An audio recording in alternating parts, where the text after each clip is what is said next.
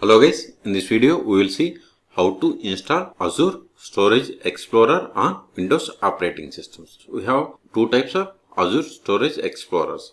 I have connected to Azure portal with my credentials, then click on storage accounts, then click on any of the storage account. See here we have the storage browser. Storage click on storage browser. See here we have the blob containers, file shares, queues and tables. To install Storage Explorer on Windows, we have to click on this download Azure Storage Explorer. Click on it. See here, it is used to upload, download and manage Azure Storage blobs files and etc. Okay. So click on this download, then select the type of operating systems. We can install on Windows, Mac and Linux also. So click on the Windows x64 and see here its size is 128 megabytes. Wait until download completes. See download is completed. Click on open file. Select the option. Click on install for all users. Select this I accept the agreement and click on install.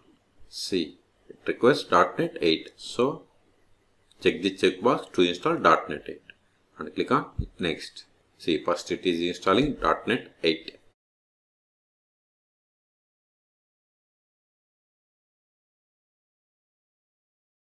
See, now it is asking us the destination location. Select it by clicking on browse. Otherwise, this is the default location. Click on next.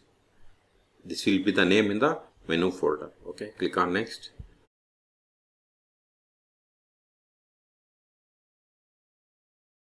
And see here, version of the Azure Storage Explorer is 1.1.34.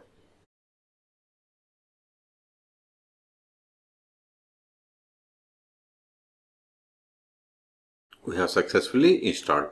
If you go to start all programs, all applications, see here we have the Azure Storage Explorer.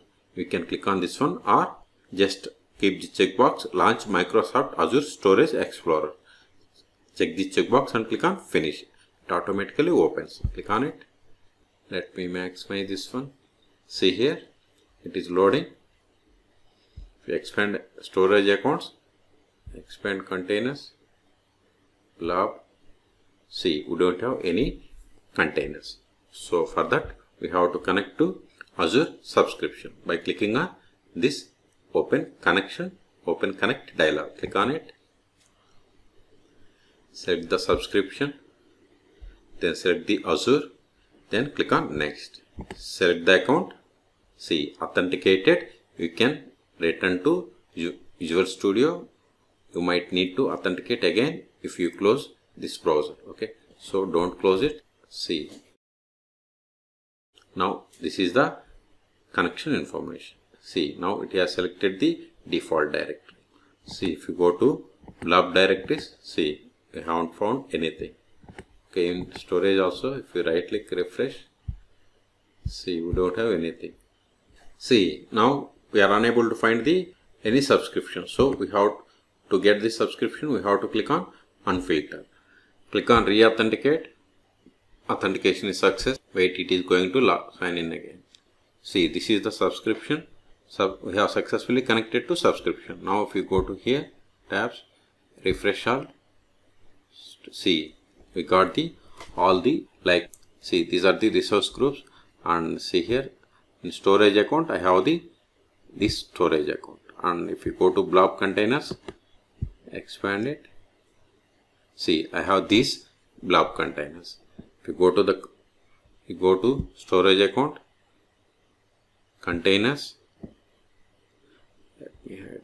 See we have the same containers as here okay? So in this video we have seen how to install and configure the Azure Storage Explorer on Windows 10 or 11 operating systems. For more Azure videos please subscribe my channel. Thank you